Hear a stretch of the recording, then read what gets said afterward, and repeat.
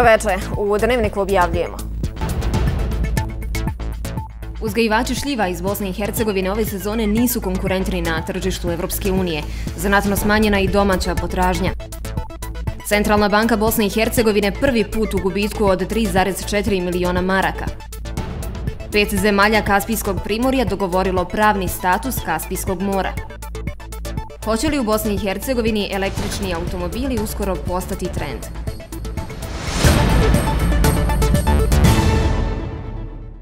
Klimatske promjene glavni su razlog što uzgajivači šljiva iz naše zemlje ove sezone nisu konkurentni na tržištu Evropske unije, a znatno je smanjena i domaća potražnja. Posebno šljivari iz gradačca očekuju velike gubitke, jer će šljivu, koja je ove godine nešto slabijeg kvaliteta, ali ima dobar urod, morati pustiti da propadne. Od svoje države očekuju pomoć po ugledu na Evropsku uniju, koja podstiče izvoz i štiti domaću proizvodnju.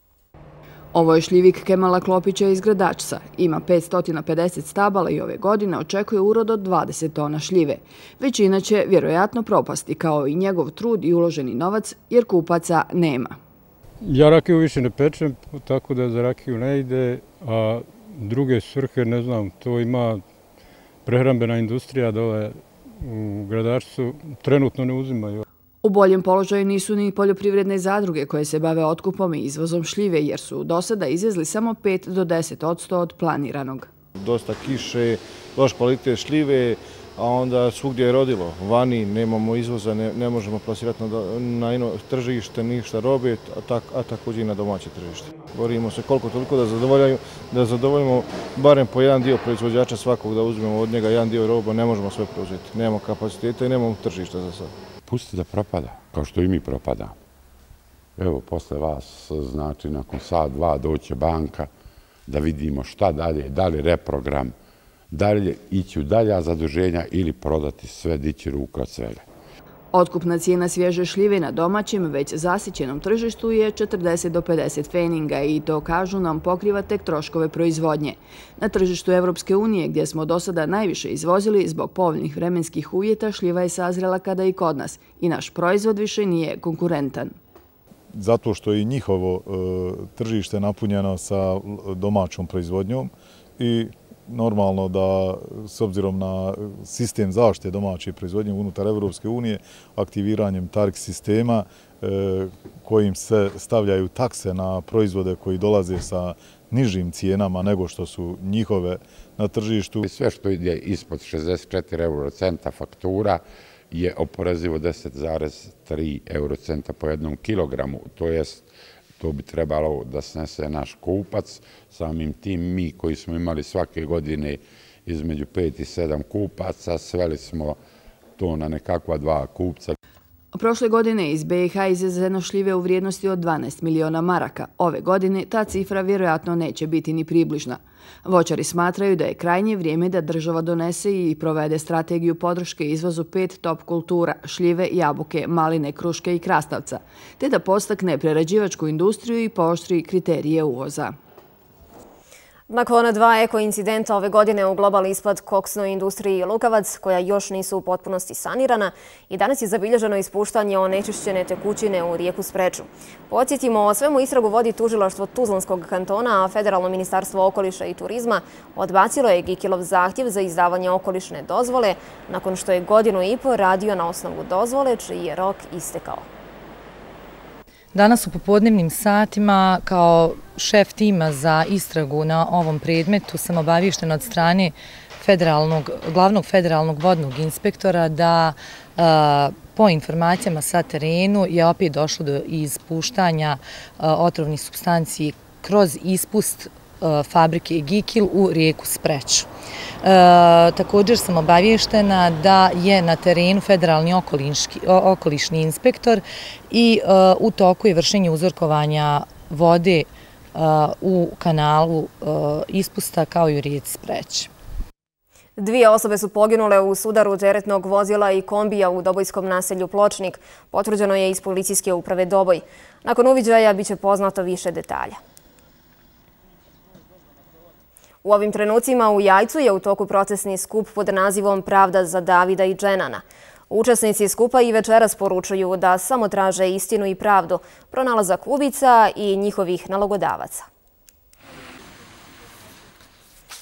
Rekonstrukcija Savskog nasipa kod vrčanskih mjesnih zajednica Krepšić i Vučilovac je u toku od novembra prošle godine, a dovršeno je tek 20% posla.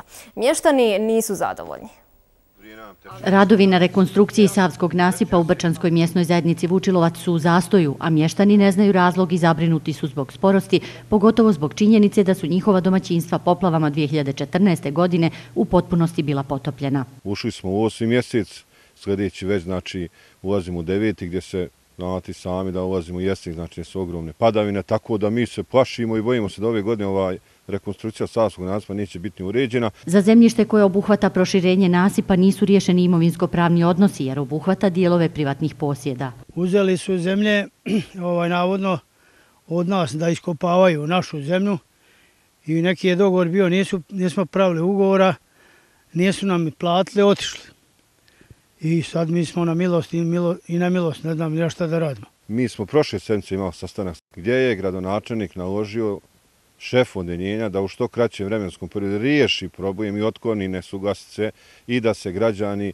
obešteti. Sredstva od oko 1,8 miliona maraka osigurana su nakon poplava 2014. godine iz IPA fondova Evropske unije za sanaciju šteta i povećanje stepena zaštite od poplava, a obuhvataju rekonstrukciju nasipa u dužini od 9,6 km, od kojih su 3 km ranije sanirana. Izvođenje radova inače ovisi o kvalitetu zemljišta koji se ugrađuje, odnosno potrebno je postići odgovarajuću vlažno zemljišta koje se ugrađuje u nasip, tako da su malo uh, uh, intenzitet radova je malo usporen i očekuje se u narednom periodu znači da će se ti radovi intenzivirati. Nadležni očekuju da projekt rekonstrukcije Savskog nasipa bude završen do kraja godine, a koji će doprinijeti većem stepenu stabilnosti i efikasnoj zaštiti ljudi i dobara.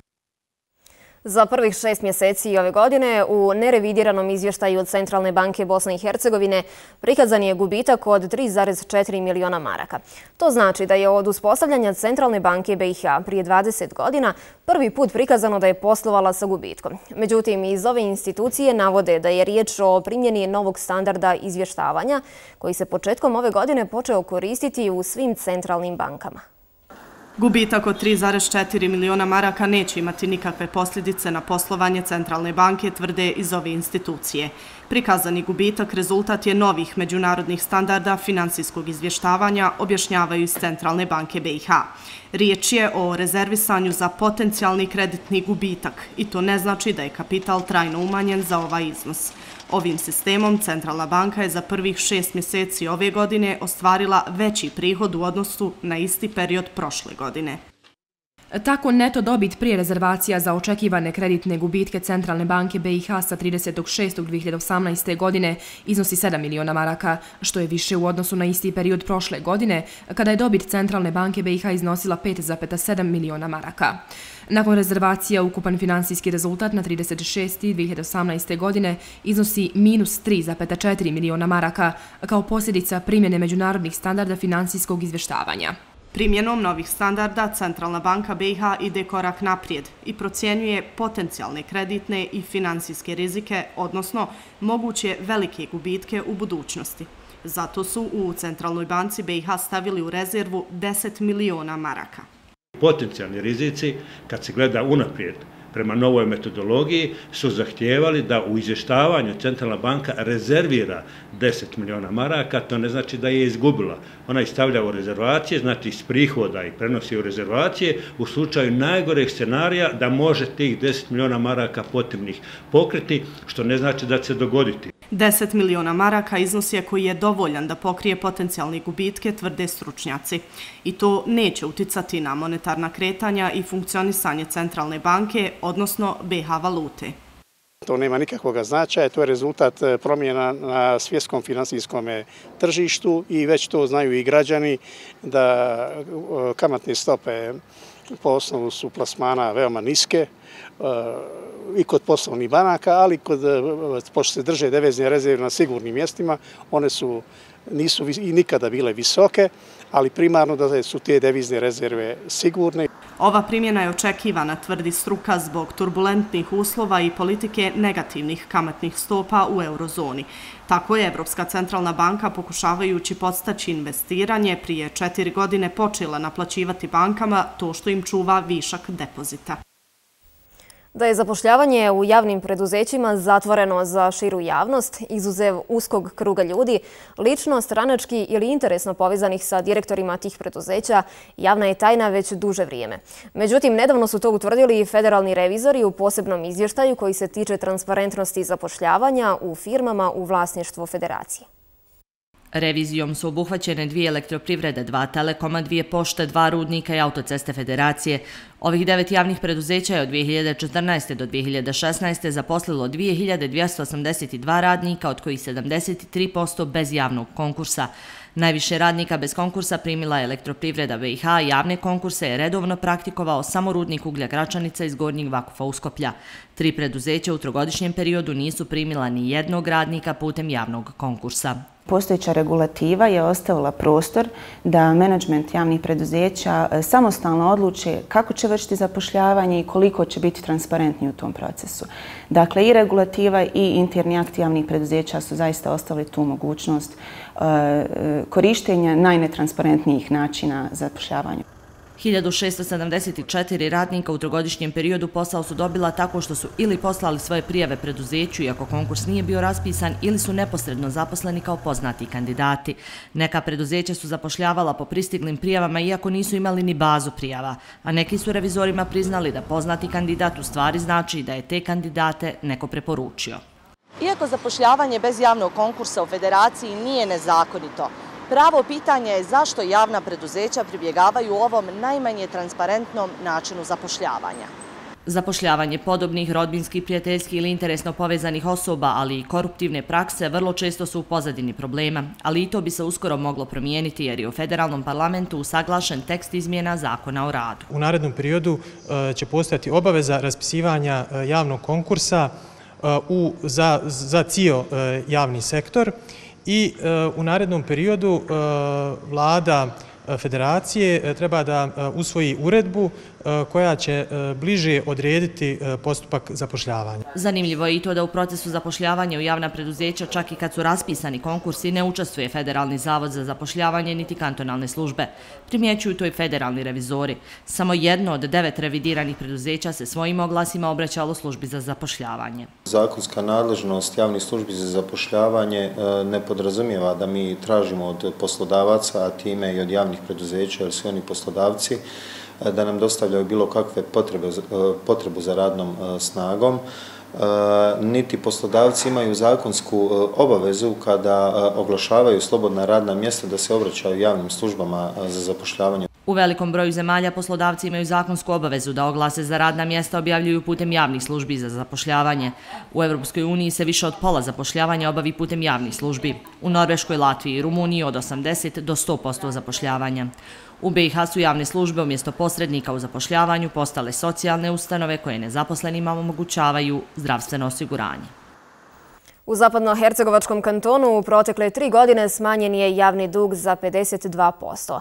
Za tako dobar rezultat najzaslužnija je finansijska disciplina kojom vlada ovog kantona polako ide ka razvoju. Dug je iznosio 77 miliona i smanjen je za više od 40 miliona maraka. Inventura financijskog stanja je pokazala, može se ako se i hoće. Prethodnici ministra financija Tonije Kraljevića zbrajali su dugove do vrhunca 2015. godine kada je dug Zapadno-Hercegovačke županije bio gotovo izjednačen proračunu. Netko se konačno sjetio mjera racionalizacije i kontrole trošenja javnog novca. Trebalo je dosta i truda i rada, kako bi se zavela financijska disciplina, kako bi se, da tako kažem, s većim marom dobrog gospodara ili kako li već upravljalo tim javnim financijama i kako bi se na taj način smanjivanjem i konsolidiranjem javnog duga Županije Zapadno-Hercegovačke otvarao prostor koji služi onda kao platforma za unapređenje i materijalnih naknada uposlenika kako bi se isto tako unapređivali socijalni transferi. Osim saniranja ranijih obveza, uredno na račune sjedaju socijalna davanja, plaće i doprinosi djelatnicima. Iz školskih krugova i redova MUPA, barem u ovoj temi više nema prozivki. Sljedeći koraka koji najviše zanima širu javnost jeste onaj koji će potaknuti proizvodnju, stvoriti radna mjesta. Mladi ljudi iseljavaju, znamo da je to globalni problem, ali veliki je to problem Hercegovine, Bosne i Hercegovine. Ovdje je malo ljudi, odavde kad ljudi odu, nitko se tu više neće vratiti. Nismo mi neka velika e,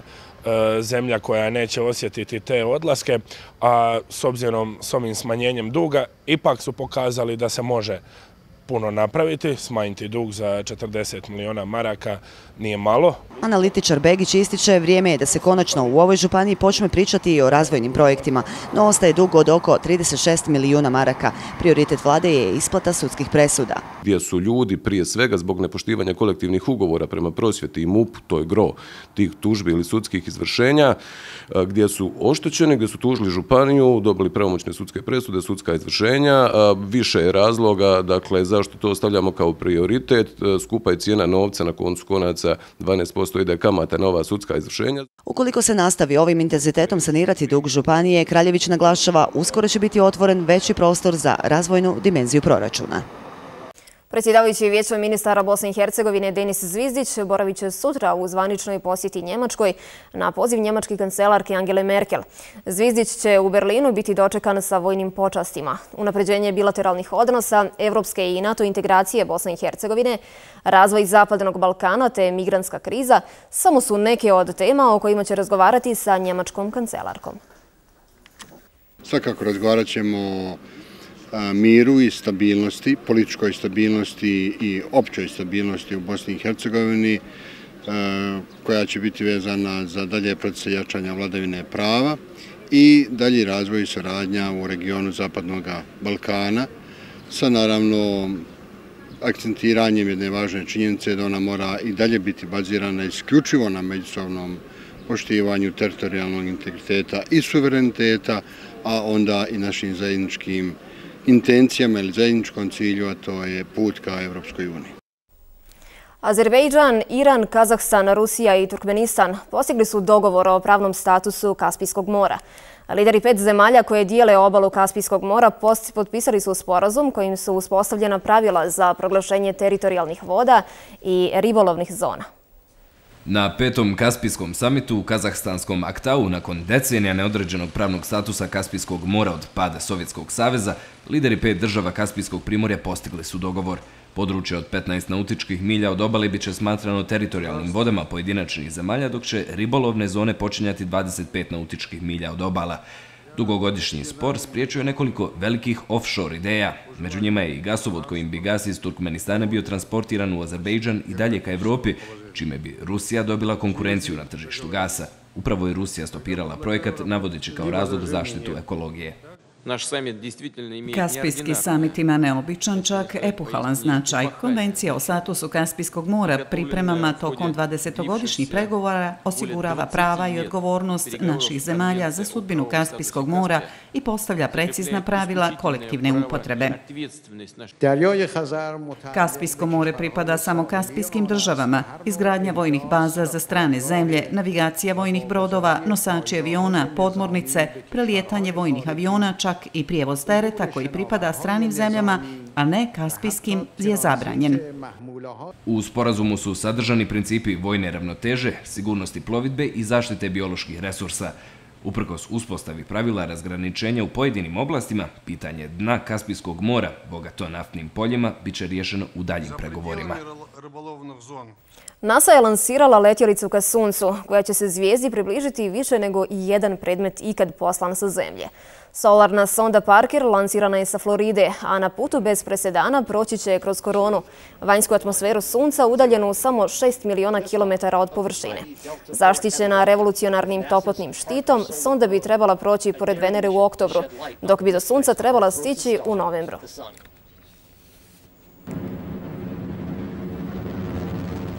Električni automobili još neće biti svakodnevna pojava na ulicama BH gradova. Razlog zato je nepostojanje zakonskih regulativa i beneficija koje bi omogućile masovnije korištenje ovih vozila. Udruženje ovlaštenih zastupnika i trgovaca automobilima u Federaciju uputilo je inicijativu za smanjenje i usklađivanje carinske stope na uvozi i uvrštavanje registracije i korištenja električnih automobila u zakonske regulative Bosne i Hercegovine. Mi hitno moramo uvrstiti električne automobile u pravilniku registraciji, mi hitno moramo poraditi na infrastrukturi eh, instaliranja elektropunjača u Bosni i Hercegovini i naravno mi moramo stimulisati nabavku električnih automobila u skladu sa eh, potrebama i onome što budućnost nalaže. Električna vozila nisu detalj iz naučno-fantastičnih filmova. U pojedinim evropskim zemljama su korak naprijed u usklađivanju tehnoloških dostignuća sa ekološkim normama. Imamo specijalne alate i edukovane osoblje, ali ono što nam dostaje je infrastruktura, podrška vlasti i naravno svijest građana. Električna vozila imaju mnogo prednosti. Imaju povoljno održavanje, e, nisku cijenu energenta vozite i za marku i pol na 100 km i naravno nema zagađenja. U posljednje dvije godine započela je izgradnja infrastrukture za punjenje električnih vozila, ali još smo daleko od normi Evropske unije. Električna mreža u našoj zemlji može osigurati dovoljno energije za veći broj stanica za punjenje ovih vozila. Elektroenergetski sistem u ovom trenutku može zadovoljiti potrebe značajnijih broja električnih vozila.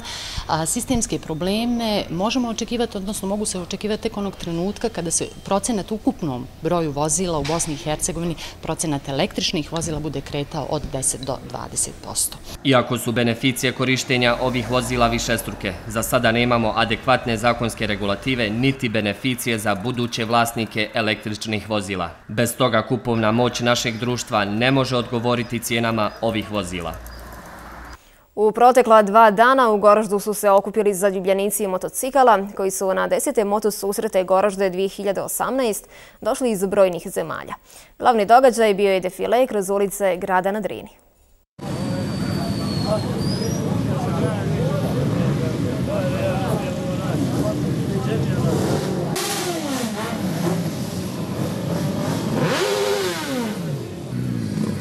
Kao i prethodni, tako su i deseti po redu motosusreti koje organizuje motoklub Goražda izazvali veliku pažnju znatiželjnih posmatrača u gradu na Drini. Dugi niz godina družimo se od prvog motoskupa i razli smo baš taj neki prijateljski odnos koji održavamo i do dan danas. Dobro, dolazi već više godina ovdje na ovaj skup. Momci su ok, pravi, nema šta.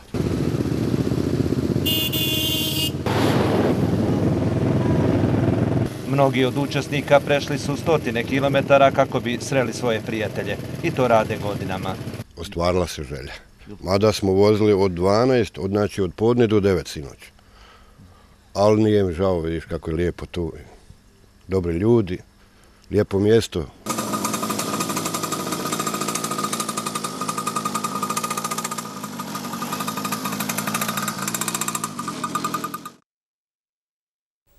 Da ljubav prema prirodi i istogodišnje iskustvo u ribarenju mogu učiniti više na očuvanju globalno ugrožene endemske vrste ribe mladice, najbolje potvrđuje pionirski projekat Fojničkog sportsko-ribolovnog društva.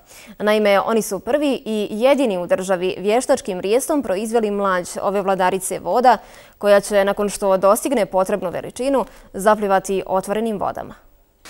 Nakon što su desetljećima sticali praktično iskustvo u vještačkom uzgoju autohtone potočne pastrnke, koje su doveli do savršenstva, ovi zaljubljenici u prirodu odlučili su to pokušati sa mladicom koju nazivaju vladaricom voda. Činjenica da je ova riba iz porodice lososa, koja naseljava planinske rijeke Dunavskog sliva, ugrožena neselektivnim izlovom, ali zbog zagađenja rijeka što je uništava prirodnim rijest, bila im je dodatni motiv mladicu treba njegovat, čuvati, treba je zaštititi jer je ona na kompletnom slivu Dunava znači izrasto ugrožena vrsta i evo i ovo je jedan od pokušaja znači našeg društva da napravimo jednu priču koja će biti dobra kako za nas tako i za širu regiju. A vještački mrijest koji nikome izuzev njima do sada kažu u državi nije uspio, ključna je mjera aktivne zaštite ove čudesne ribe koju su rijetki sretnici među ribarima uspjeli loviti. Prema njihovoj ogromnoj želji i priroda je bila blagonaklona, ali jedan od tri para ulovljenih mladica koji je obavio mrijest pored bazena i od kojih su oni uspjeli uzgojiti mlađe. U trenutku kad je počeo prirodni mrijest mladice, onda smo mi uskočili da to spasimo i vidite rezultat tamo u ovim našim bazenima. Ispalo je sve onako kao da smo čekali taj moment. Vjerovatno je i to utjecalo da bude ovako dobar ishod. Morali smo puno posmatrati. Prvo nam je iskustvo što se tiče uzgoja mladice. Već smo imali iskustvo sa uzgojem pastrnke, pa tako nekako sklađujemo to s približno iste vrste ribe. Ribe koje su se izvrijestile hrane prirodnom hranom da bi dostigle potrebnu veličinu, a onda će ih, kažu, pustiti u rijeku što će biti historijski trenutak. Posrećilo nam se, ali ljubav je taj moment koji je sigurno najdoprinio da ova priča, ovaj pokušaj bude uspješan i neće stati, jer cilj im je kažu da Fojničke rijeke i potoci postanu mjesto na kojem će ribari iz naše zemlje, ali i svijeta, sistemom ulovi, poljubi, vrati u vodu, uživati u ovoj vladarici voda. Na Zapadnom Balkanu, a i šire, Sarajevo Film Festival preuzima centralno mjesto zabave i turizma. Tokom 24 sata posjetioci mogu da, osim filmova, uživaju i u drugim sadržajima. Danas su između ostalih na programu bila dva igrana filma u takmičarskom dijelu, a to su Jedan i po princ i Mali. Na dnevni sadržaj, ispunjen desetinama filmskih projekcija, nastavlja se noćni, u kojem prednjače koncerti regionalnih zvijezda. No pravi spektakl je Party Tram, a riječ je o Party Tramaju. Vrlo je zanimljivo danas kad smo dolazili ovamo i onda usputi gdje god neka granica kod Sarajeva, na festivalu. U takmičarskom dijelu igranog filma ponovo dvije drame, dok u rumunskom filmu Jedan i po princ mlade rediteljice Ane Lungu zaplet unosi šarmantni mađarski pisac iz Transilvanije, u filmu Mali hrvatski reditelj Antonio Nulić iznosi nam portret savremenog hrvatskog društva čije temelje podrivaju korupcija, bezakonje i nemoral. To je film o prijateljstvu i ljubavi, od samog početka zamišljen je kao film o prijateljima, jer sam scenarij pisala zajedno sa Iris, koja je moja bliska prijateljica i rediteljka u pozorištu. Meni je motiv bio najviše ovaj taj, ono što se ne vidi u filmu, to je taj povratak njegov iz zatvora kao promijenjenog, jel, čovjeka ne baš nabolje. Večeras će u ljetnom kinu publici biti prikazan psihološki thriller Svi znaju, dvostrukog dobitnika Oscara i predsjednika žirija takmičarskog programa 24. Sarajevo Film Festivala Azgara Farhadija. U Dnevniku toliko. Danijela Mijatović večeras u sportskom bloku. Hvala na pažnji i doviđenju.